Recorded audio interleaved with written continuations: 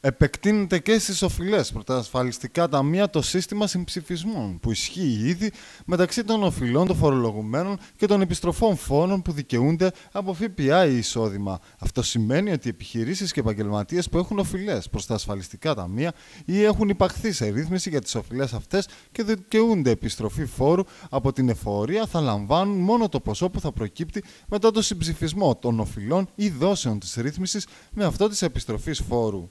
Ε, εντάξει, σίγουρα θεωρούμε ότι είναι ένα θετικό μέτρο. Είναι, όπως είπατε, μια θα λέγαμε πάγια διεκδίκηση και των επιμελητηρίων και του επιχειρηματικού κόσμου. Ε, γιατί είχαμε δει τραγελαφικά ε, θέματα και ειδικά ανθρώπους να σέρνονται στα δικαστήρια ε, και για 500 και για 1000 ευρώ, τα οποία πιθανόν ε, χρωστούσαν σε κάποιον ασφαλιστικό φορέα, αλλά ταυτόχρονα κάποια επιχείρηση μπορεί να είχε να παίρνει κάποιες χιλιάδες ευρώ από επιστροφή ΦΠΑ ή και από επιστροφή κάποιων ε, άλλων επιδοτήσεων. Ε, και δυστυχώς, ενώ όταν εμείς χρωστάμε πρέπει να πληρώσουμε άμεσα και μας τρέχουν και στα δικαστήρια ως φοροφυγάδες ή ως φοροκλέφτες, το ίδιο το κράτος όταν χρωστάει δεν τον νοιάζει καθόλου και ας έχουν περάσει και τρία και τέσσερα και πέντε χρόνια. Ε, άρα αυτός ο συμψηφισμός πιστεύω θα φέρει έτσι θα λέγαμε έναν ορθολογισμό μέσα στην οικονομία. Ε, απλώς όπως πάντα και κάθε φορά το τονίζουμε φοβόμαστε κάποιες ερμηνευτικούς εγκύκλοι οι οποίοι βγαίνουν κατά καιρούς και πολλές φορές δυστυχώς καταστρατηγούν και τον ίδιο τον νόμο.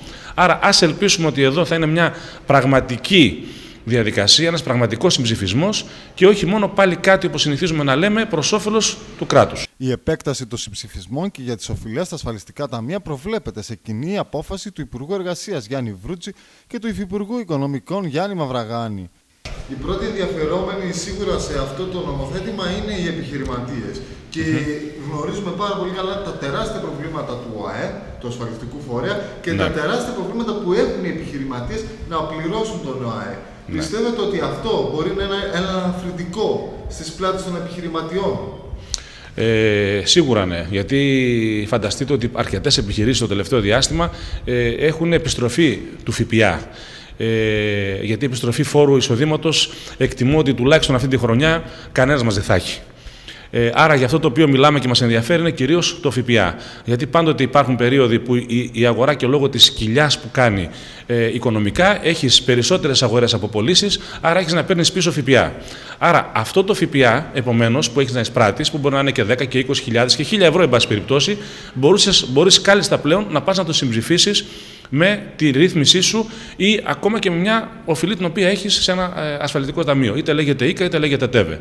Ε, αλλά το σημαντικότερο θα είναι ότι θα πρέπει ε, να πάψει αυτό θα λέγαμε που συνεχώς το κράτος κυνηγάει τους επιχειρηματίες όταν ακόμα και για ένα ευρώ έχεις μια οφειλή.